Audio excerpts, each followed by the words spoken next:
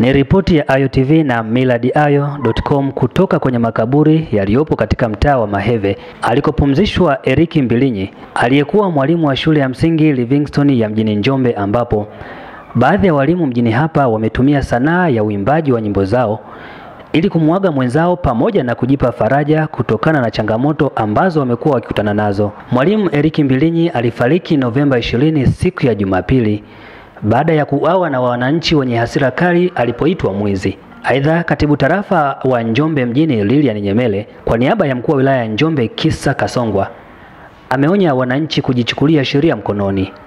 Jina langu ni Amiri Kilagalila. Kwanza nipende kutoa salamu za Mheshimiwa mkuu wa wilaya ambaye ameshindwa kufika hapa kuja kushirikiana nasi, lakini anaungana na familia. Amesema niwaambie wananjombe, amepokea taarifa hizi kwa masikitiko makubwa sana. Ataendelea kutoa maelekezo ni nini kifanyike. Ndugu zangu, tulipokea taarifa hizi Jumapili usiku zenye huzuni, zenye kuchosha, zenye kusikitisha. Tumezoea kusikia nje ya mji wetu, nje ya mkoa wetu, lakini sasa yameanza kuingia ndani ya mji. Niwaombe sana wananjombe, kukosea njia ndio kujua njia. Tukio hili lisijirudie tena. Inasikitisha, unakosa neno la kuzungumza. Unazungumza nini? Kila unapouliza unaambiwa story, story, hadithi.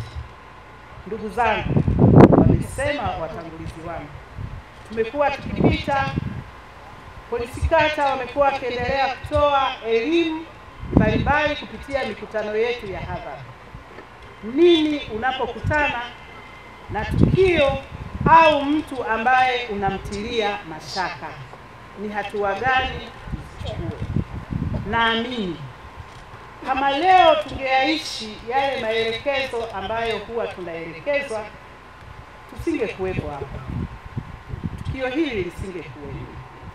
Lakini tumekuwa wote sasa ni wanasheria, tumekuwa wote ni watu ambao tunadhani kila mtu unayemwona ni mhalifu mbele yako au ni mtukutu mbele yako. Niwaombe sana ndugu zangu, tuwe watulivu katika kipindi hiki kigumu tunachokipitia. Tuweni wavumilivu, kwa sababu kwenye msafara wa mamba kenge nao huwa. Kwa hiyo niwaombe sana, haipendezi, haifurahishi. Madam liko kwenye vyombo vya kisheria, hebu tuwaachie wenzetu. Lakini una taarifa, una fununu, sisi tukuombe utoe ushirikiano kwa jeshi letu la polisi. Inaumiza, inahuzunisha, nalani sana sana sana, na ninakemea.